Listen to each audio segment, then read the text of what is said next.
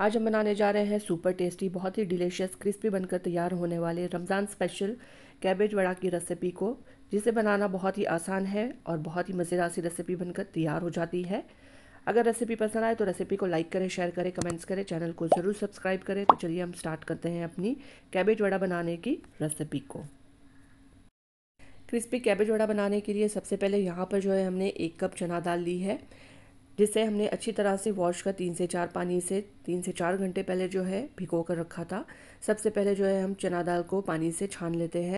सबसे पहले चना दाल को पीसने के लिए यहाँ पर जो है हमने मिक्सर ग्राइंडर का सबसे बड़ा वाला जाल ले लिया है। सारी भीगी हुई दाल को जो है हम इस जार में ट्रांसफ़र कर लेते हैं।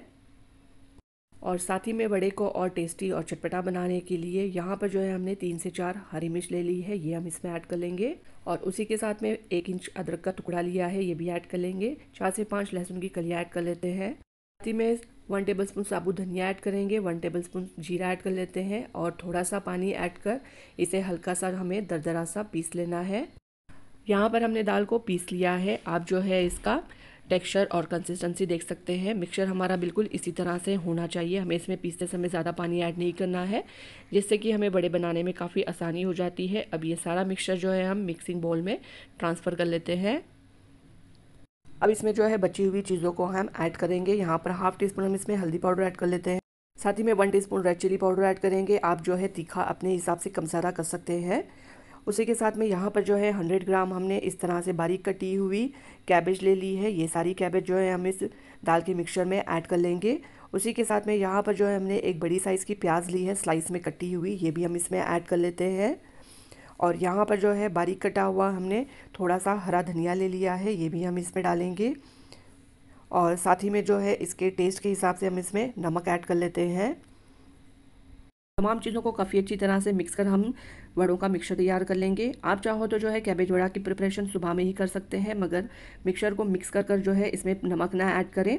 जब आप वड़े तलने के लिए जाएँ, तभी जो है इसमें नमक ऐड करें, वरना जो है नमक ऐड करने से मिक्सर में पानी रिलीज़ होना स्टार्ट हो जाएगा। यहाँ पर कैबेज वड़े का मिक्सर बनकर हमारा बिल्कुल तैयार हो चुका है।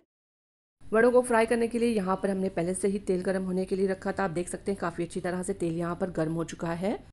वड़े बनाने के लिए यहाँ पर हमने हाथों को हल्का सा पानी से गीला कर लिया है। अब मिक्सर का जो है, थोड़ा सा पोषण लेकर इस तरह से वड़ों का शेप देते हुए हम वड़ों को तैयार कर लेंगे। अब जो है वड़ों का साइज़ अपने हिसाब से छोटा बड़ा रख सकते हैं। अब एक एक कर जो है वड़े तैयार कर हम गरम तेल में इस तरह से प्लेस कर लेंगे।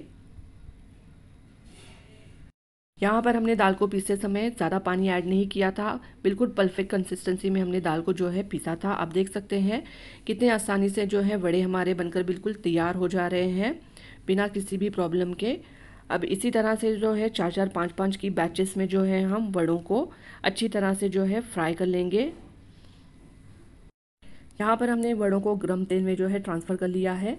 अब इस तरह से जो है हम वड़ों पर हल्का हल्का सा जो है तेल जो है डालेंगे जिससे जो है ऊपर से भी वड़े हमारे काफ़ी अच्छी तरह से जो है फ्राई हो जाए हमें इसे तीन से चार मिनट के लिए जो है एक साइड से मीडियम टू लो फ्लेम पर फ्राई कर लेना है उसके बाद जो है हमें इसकी साइड को जो है इस तरह से टर्न कर लेना है हमें जो है इसे बहुत ही आराम आराम से फ्राई करना है जिससे अंदर तक की वड़े हमारे अच्छी तरह से जो है फ्राई हो जाए वड़ों को जो है हमें बढ़िया सा गोल्डन ब्राउन और क्रिस्पी होने तक अच्छी तरह से जो है फ्राई कर लेना है।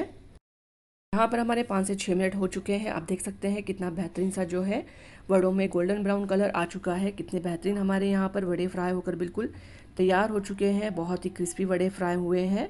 अब एक एक कर जो है हम इसे तेल से बाहर निकाल लेते हैं। अब इसी तरह से जो है बाकी बचे वड़ों को भी जो है हम अच्छी तरह से फ्राई कर लेंगे। यहाँ पर क्रिस्पी चटपटे मज़ेदार से हमारे कैबेज वड़ा बनकर बिल्कुल गर्मा गर्म तैयार हो चुके हैं सर्व करने के लिए, जिसे हमने गर्मा गर्म सर्व किया है टोमेटो सॉस के साथ। आप जो चाहो तो इसे धनिया पुदीने की चटनी के साथ भी जो है सर्व कर सकते हैं। जितनी ये बना, रेसिपी बनाने में आसान है, खाने में उतनी ही मज़ेदार और टेस्टी है। उम्मीद है आपको मेरी रेसिपी ज़रूर पसंद आई होगी और इस रमज़ान आप मेरी इस रेसिपी को ज़रूर ट्राई करें। उम्मीद है आपको ज़रूर पसंद आएगी। रमज़ान के अलावा आप जो है इसे ब्रेकफास्ट में इवनिंग स्नैक्स के तौर पर भी जो है बनाकर सर्व कर सकते हैं। उम्मीद है आपको मेरी रेसिपी ज़रूर पसंद आई होगी। अगर रेसिपी पसंद आई हो तो रेसिपी को लाइक करें शेयर करें कमेंट्स करें। मिलते हैं अपनी एक और नई रेसिपी के साथ। अपना खूब सारा ख्याल रखें।